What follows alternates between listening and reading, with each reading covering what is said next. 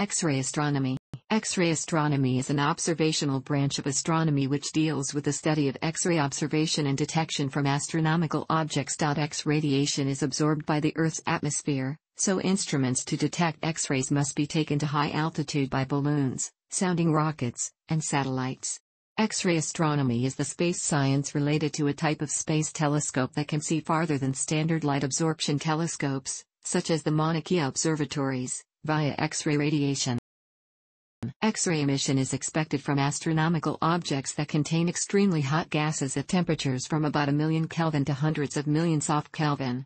Although X-rays have been observed emanating from the Sun since the 1940s, the discovery in 1962 of the first cosmic X-ray source was a surprise. This source is called Scorpius X1, the first X-ray source found in the constellation Scorpius.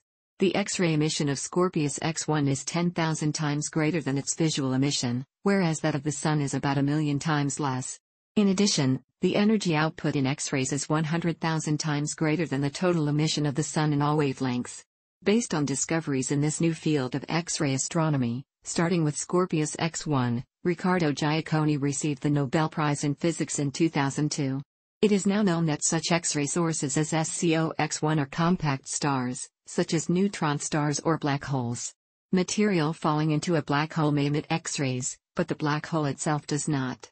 The energy source for the X-ray emission is gravity. In falling gas and dust is heated by the strong gravitational fields of these and other celestial objects. Many thousands of X-ray sources are known. In addition, the space between galaxies and galaxy clusters is filled with a very hot, but very dilute gas at a temperature between 10 and 100 megakelvins. The total amount of hot gas is 5 to 10 times the total mass in the visible galaxies. The first sounding rocket flights for X-ray research were accomplished at the White Sands Missile Range in New Mexico with a V-2 rocket on January 28, 1949.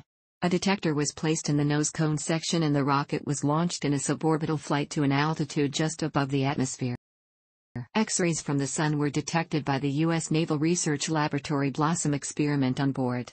An Aerobee 150 rocket was launched on June 12, 1962 and it detected the first X-rays from other celestial sources. The largest drawback to rocket flights is their very short duration and their limited field of view. A rocket launched from the United States will not be able to see sources in the southern sky, a rocket launched from Australia will not be able to see sources in the northern sky. In astronomy, the interstellar medium is the gas and cosmic dust that pervade interstellar space the matter that exists between the star systems within a galaxy. It fills interstellar space and blends smoothly into the surrounding intergalactic medium. The interstellar medium consists of an extremely dilute mixture of ions, atoms, molecules, larger dust grains, cosmic rays, and magnetic fields. The energy that occupies the same volume, in the form of electromagnetic radiation, is the interstellar radiation field. Of interest is the hot ionized medium consisting of a coronal cloud ejection from star surfaces at 10 to 10 K which emits X-rays. The ISM is turbulent and full of structure on all spatial scales. Stars are born deep inside large complexes of molecular clouds, typically a few parsecs in size. During their lives and deaths, stars interact physically with the ISM.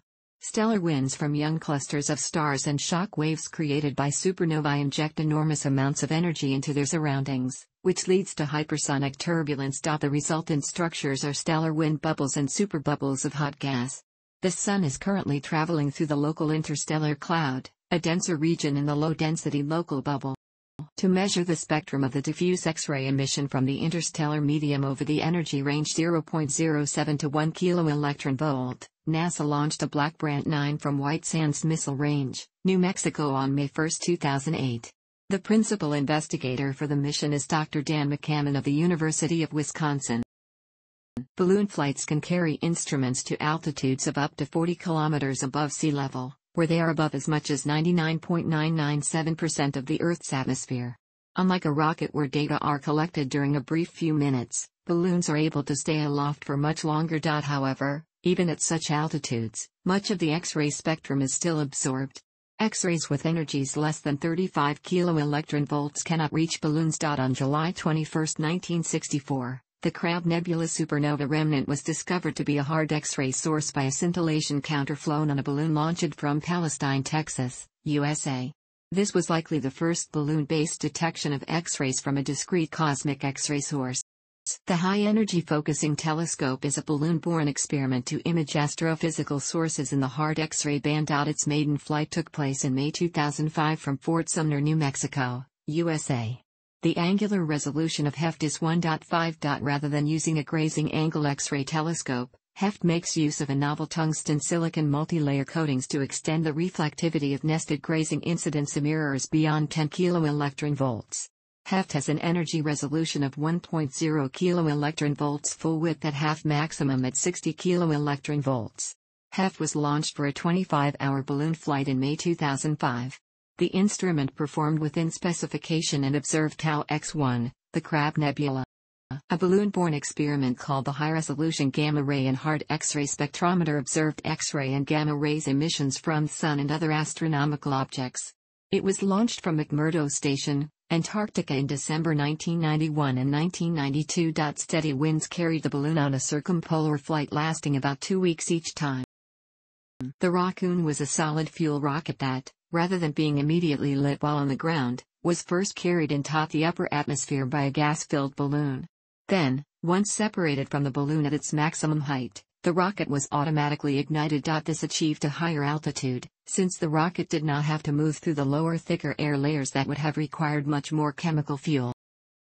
The original concept of rockoons was developed by Commander Lee Lewis, Commander G. Halvorsen, S. F. Singer, and James A. Van Allen during the Aerobee rocket firing cruise of the on March 1, 1949. From July 17 to July 27, 1956, the Naval Research Laboratory shipboard launched eight Deacon Rockoons for solar ultraviolet and X-ray observations at tilde 30 degrees and tilde 121.6 degrees width, southwest of San Clemente Island, apogee, 120 kilometers. X-ray astronomy satellites study X-ray emissions from celestial objects. Satellites, which can detect and transmit data about the X-ray emissions are deployed as part of branch of space science known as X-ray astronomy.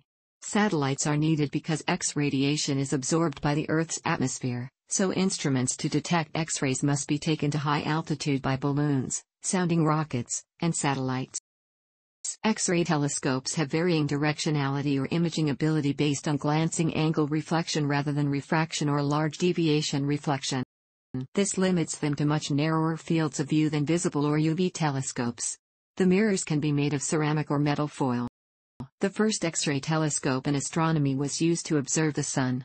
The first X-ray picture of the Sun was taken in 1963, by a rocket-borne telescope.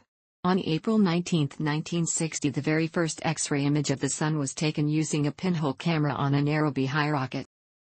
The utilization of X-ray mirrors for extrasolar X-ray astronomy simultaneously requires X-ray astronomy detectors have been designed and configured primarily for energy and occasionally for wavelength detection using a variety of technique usually limited to the technology of the time. X-ray detectors collect individual X-rays and count the number of photons collected the energy of the photons collected, wavelength, or how fast the photons are detected, to tell us about the object that is emitting them.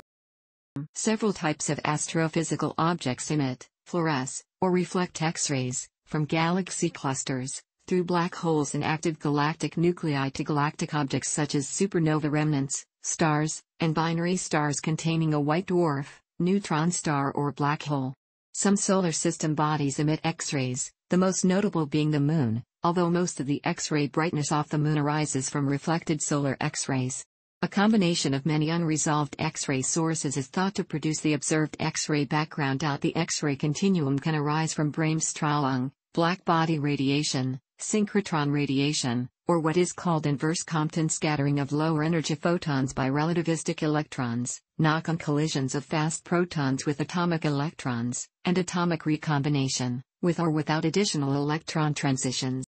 An intermediate mass X-ray binary is a binary star system where one of the components is a neutron star or a black hole. The other component is an intermediate mass star.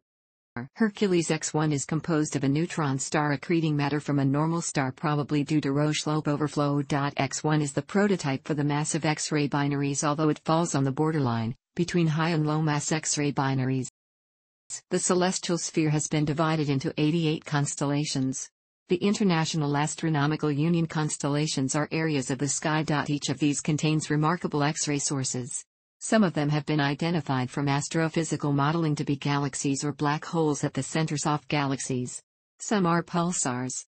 As with sources already successfully modeled by X-ray astrophysics, striving to understand the generation of X-rays by the apparent source helps to understand the Sun, the universe as a whole, and how these affect us on Earth.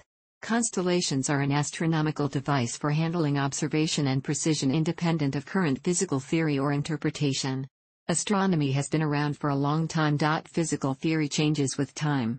With respect to celestial X-ray sources, X-ray astrophysics tends to focus on the physical reason for X-ray brightness, whereas X-ray astronomy tends to focus on their classification, order of discovery, variability, resolvability, and their relationship with nearby sources in other constellations. Within the constellations Orion and Eridanus and stretching across them is a soft X-ray hotspot known as the Orion-Eridanus superbubble, the Eridanus soft X-ray enhancement, or simply the Eridanus bubble, a 25 degrees area of interlocking arcs of H-alpha emitting filaments. Soft X-rays are emitted by hot gas in the interior of the superbubble.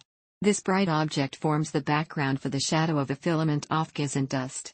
The filament is shown by the overlaid contours, which represent 100 micrometer emission from dust at a temperature of about 30 K as measured by IRAS.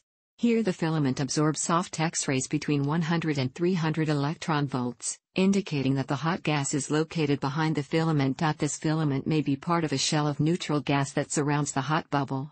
Its interior is energized by ultraviolet light and stellar winds from hot stars in the Orion OB1 association. These stars energize a superbubble about 1,200 lis across which is observed in the visual and X-ray portions of the spectrum. There are several projects that are proposed for X-ray observatory satellites. See main article link above. Usually observational astronomy is considered to occur on Earth's surface. The idea of limiting observation to Earth includes orbiting the Earth.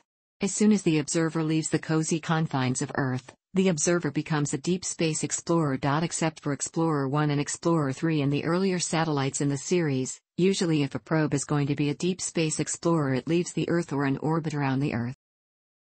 For a satellite or space probe to qualify as a deep space X-ray astronomer slash explorer or astronaut slash explorer, all it needs to carry aboard is an XRT or X-ray detector and leave Earth orbit. Ulysses was launched October 6, 1990, and reached Jupiter for its gravitational slingshot in February 1992. It passed the South Solar Pole in June 1994 and crossed the ecliptic equator in February 1995.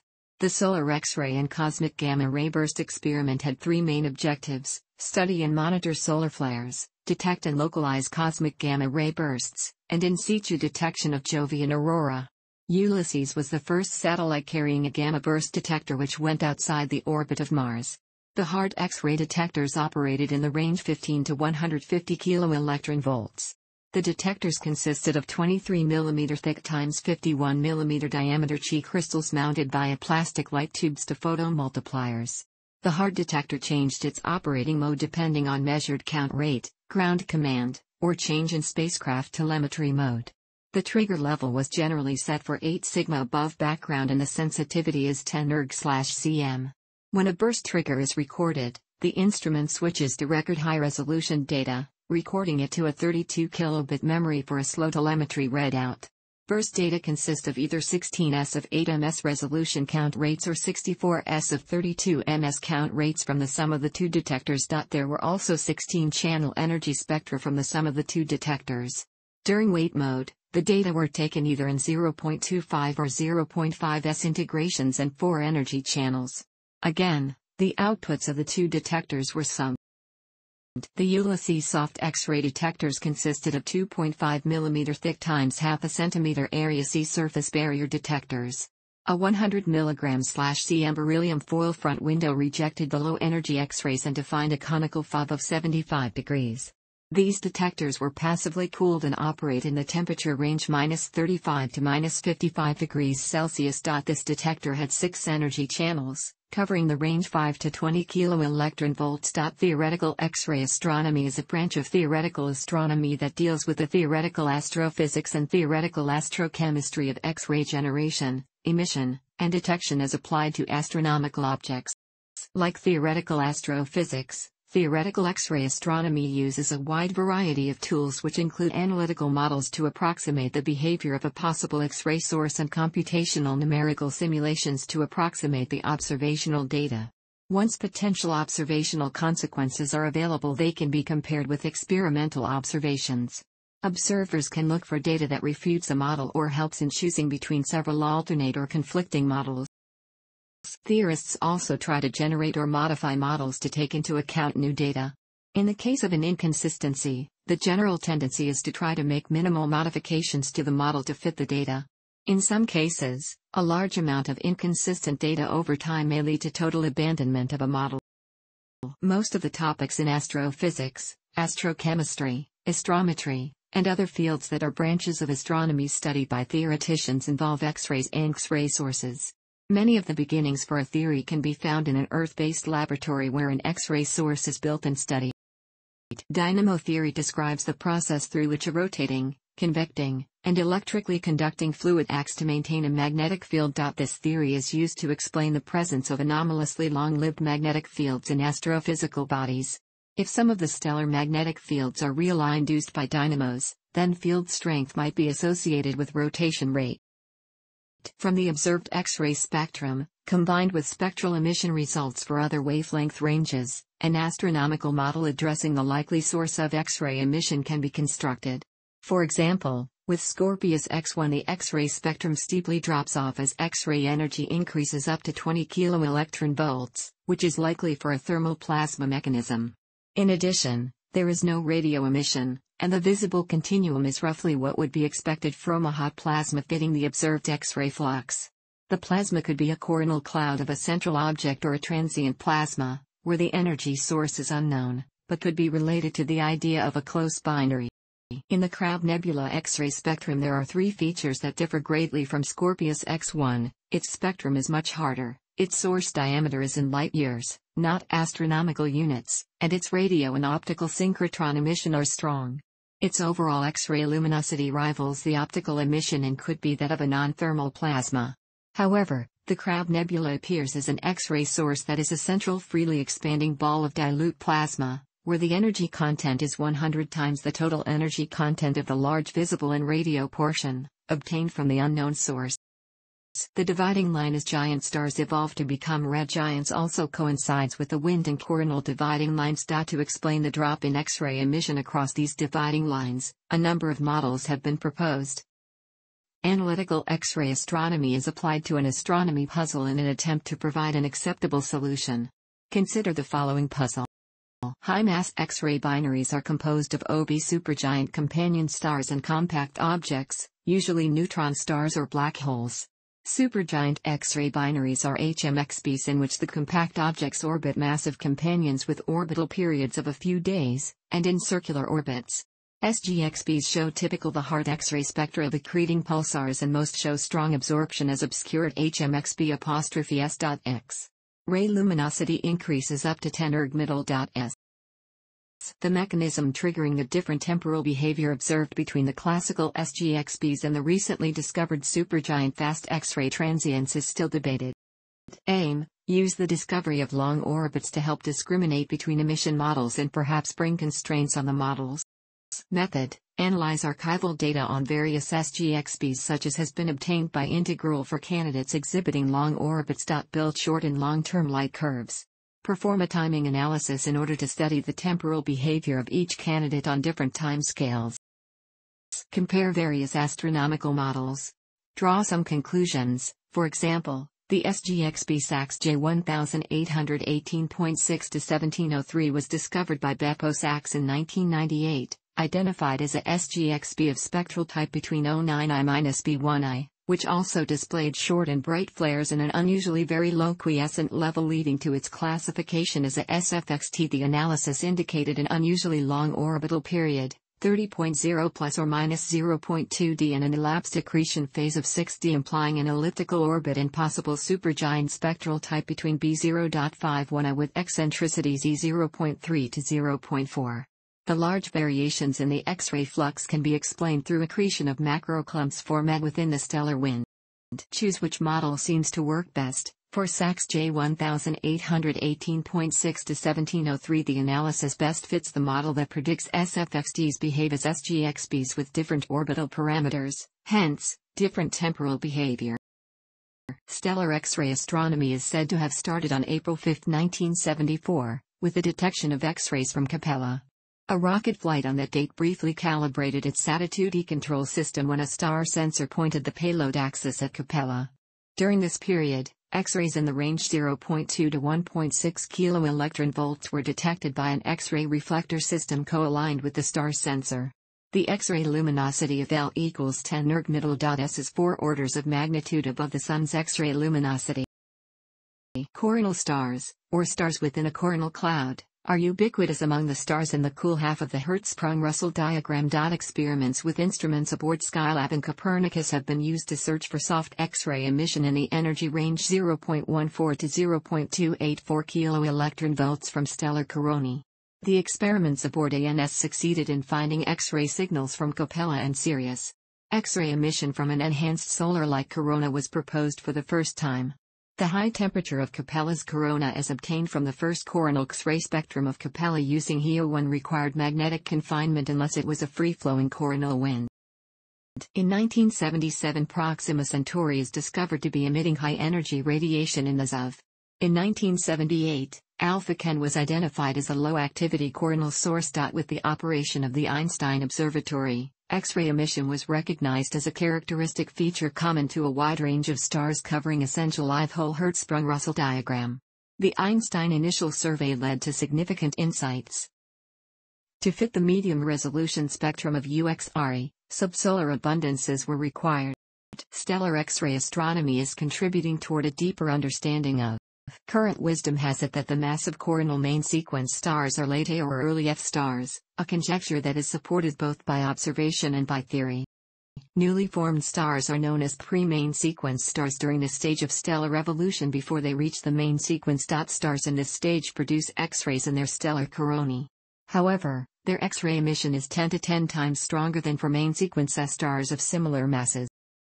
X-ray emission for pre-main sequence stars was discovered by the Einstein Observatory. This X-ray emission is primarily produced by magnetic reconnection flares in the stellar coronae, with many small flares contributing to the quiescent X-ray emission from these stars. Pre-main sequence stars have large convection zones, which in turn drive strong dynamos, producing strong surface magnetic fields. This leads to the high X-ray emission from these stars, which lie in the saturated X-ray regime unlike main sequence stars that show rotational modulation off X-ray emission. Other sources of X-ray emission include accretion hotspots and collimated outflows. X-ray emission as an indicator of stellar youth is important for studies of star-forming regions. Most star-forming regions in the Milky Way galaxy are projected on galactic plane fields with numerous unrelated field stars. It is often impossible to distinguish members of a young stellar cluster from field star contaminants using optical and infrared images alone. X-ray emission can easily penetrate moderate absorption from molecular clouds, and can be used to identify candidate cluster members. Given the lack of a significant outer convection zone, theory predicts the absence of a magnetic dynamo in earlier A stars. In early stars of spectral type O and B, shocks developing in unstable winds are the likely source of X-rays. Beyond spectral type M5, the classical alpha-omega dynamo can no longer operate as the internal structure of dwarf stars changes significantly, they become fully convective. As a distributed dynamo may become relevant, both the magnetic flux on the surface and the topology of the magnetic fields in the corona should systematically change across this transition, perhaps resulting in some discontinuities in the X-ray characteristics around spectral class DM5. However, observations do not seem to support this picture. Long-time lowest mass X-ray detection, VB8, has shown steady emission at levels of X-ray luminosity 10 erg middle. S and flares up to an order of magnitude higher. Comparison with other late M dwarfs shows a rather continuous trend. Herbig–B stars are pre-main sequence stars. As to their X-ray emission properties, some are. The nature of these strong emissions has remained controversial with models including the FK-COM stars are giants of spectral type K with an unusually rapid rotation and signs of extreme activity. Their X-ray coronae are among the most luminous and the hottest known with dominant temperatures up to 40 mK. However, The current popular hypothesis involves a merger of a closed binary system in which the orbital angular momentum of the companion is transferred to the primary. Pollux is the brightest star in the constellation Gemini, despite its beta designation, and the 17th brightest in the sky. Pollux is a giant orange K star that makes an interesting color contrast with its white twin, Castor. Evidence has been found for a hot, outer, magnetically supported corona around Pollux, and the star is known to be an X-ray emitter. New X-ray observations by the Chandra X-ray Observatory show three distinct structures, an outer, horseshoe-shaped ring about 2 light-years in diameter, a hot inner core about 3 light-months in diameter, and a hot central source less than 1 light-month in diameter which may contain the superstar that drives the whole show. The outer ring provides evidence of another large explosion that occurred over 1,000 years ago. These three structures around Eta Carinae are thought to represent shock waves produced by matter rushing away from the superstar at supersonic speeds. The temperature of the shock-heated gas ranges from 60 mK in the central regions to 3 mK on the horseshoe-shaped outer structure. The Chandra image contains some puzzles for existing ideas of how a star can produce such hot and intense X-rays, says Professor Kris Davidson of the University of Minnesota. Davidson is principal investigator for the Eta Carinae observations by the Hubble Space Telescope. In the most popular theory, X-rays are made by colliding gas streams from two stars so close together that they'd look like a point source to us. But what happens to gas streams that escape to farther distances? The extended hot stuff in the middle of the new image gives us demanding new conditions for any theory to meet. Collectively, amateur astronomers observe a variety of celestial objects and phenomena sometimes with equipment that they build themselves. The United States Air Force Academy is the home of the U.S.'s only undergraduate satellite program, and has and continues to develop the Falcon launch sounding rockets. In addition to any direct amateur efforts to put X-ray astronomy payloads into space, there are opportunities that allow student-developed experimental payloads to be put on board commercial sounding rockets as a free of charge ride. There are major limitations to amateurs observing and reporting experiments in X-ray astronomy, the cost of building an amateur rocket or balloon to place a detector high enough and the cost of appropriate parts to build a suitable X-ray detector. In 1927, E.O. Hulbert of the U.S. Naval Research Laboratory and associates Gregory Breit and Merle A. Tuve of the Carnegie Institution of Washington explored the possibility of equipping Robert H. Goddard's rockets to explore the upper atmosphere. Two years later, he proposed an experimental program in which a rocket might be instrumented to explore the upper atmosphere, including detection of ultraviolet radiation and X-rays at high altitudes. In the late 1930s, the presence of a very hot, tenuous gas surrounding the Sun was inferred indirectly from optical coronal lines of highly ionized species. The Sun has been known to be surrounded by a hot tenuous corona. In the mid-1940s radio observations revealed a radio corona around the Sun. The beginning of the search for X-ray sources from above the Earth's atmosphere was on August 5, 1948 1207 GMT.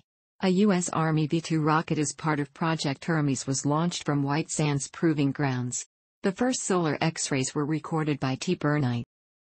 Through the 1960s, 70s, 80s, and 90s, the sensitivity of detectors increased greatly during the 60 years of X-ray astronomy. In addition, the ability to focus X-rays has developed enormously, allowing the production of high-quality images of many fascinating celestial objects.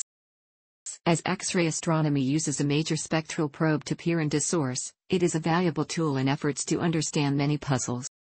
Magnetic fields are ubiquitous among stars, yet we do not understand precisely why, nor have we fully understood the bewildering variety of plasma physical mechanisms that act in stellar environments. Some stars, for example, seem to have magnetic fields, fossil stellar magnetic fields left over from their period of formation, while others seem to generate the field anew frequently. With the initial detection of an extrasolar X-ray source, the first question usually asked is what is the source? An extensive search is often made in other wavelengths such as visible or radio for possible coincident objects. Many of the verified X-ray locations still do not have readily discernible sources. X-ray astrometry becomes a serious concern that results in ever greater demands for finer angular resolution and spectral radiance.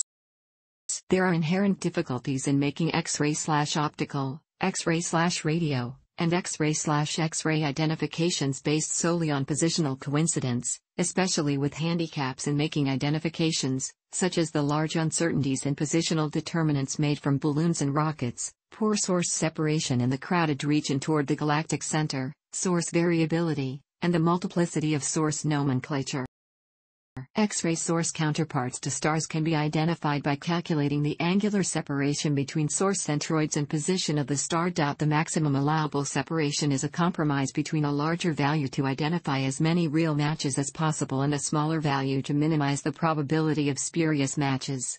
An adopted matching criterion of 40 finds nearly all possible X-ray source matches while keeping the probability of any spurious matches in the sample to 3%. All of the detected X-ray sources at, around, or near the Sun appear to be associated with processes in the corona, which is its outer atmosphere. In the area of solar X-ray astronomy, there is the coronal heating problem. The photosphere of the Sun has an effective temperature of 5570 K yet its corona has an average temperature of 1 to 2 times 10 K however, the hottest regions are 8 to 20 times 10 K.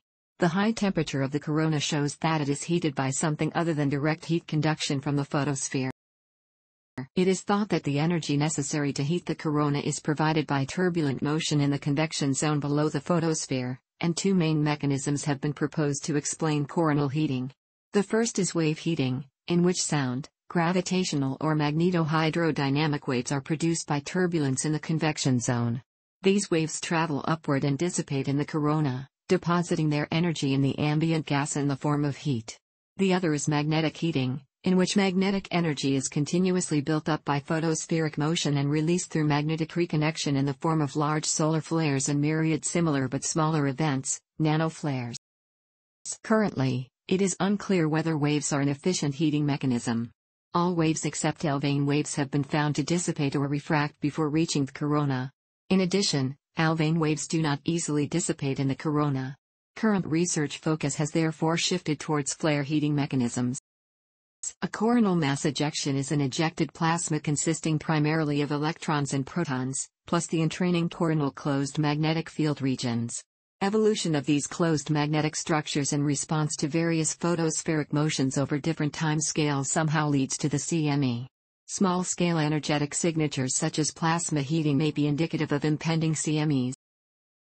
The soft X-ray sigmoid is an observational manifestation of the connection between coronal structure and CME production. Relating the sigmoids at X-ray wavelengths to magnetic structures and current systems in the solar atmosphere is the key to understanding the relationship to CMEs. The first detection of a coronal mass ejection as such was made on December 1, 1971 by R. Tousey of the U.S. Naval Research Laboratory using OSO 7. Earlier observations of coronal transients or even phenomena observed visually during solar eclipses are now understood as essentially the same thing. The largest geomagnetic perturbation, resulting presumably from a prehistoric CME, coincided with the first observed solar flare, in 1859. The flare was observed visually by Richard Christopher Carrington and the geomagnetic storm was observed with a recording magnetographic Kew Gardens. The same instrument recorded a crotchet, an instantaneous perturbation of the Earth's ionosphere by ionizing soft X-rays. This could not easily be understood at the time because it predated the discovery of X-rays and the recognition of the ionosphere. A microquasar is a smaller cousin of a quasar that is a radio-emitting X-ray binary with an often resolvable pair of radiojets.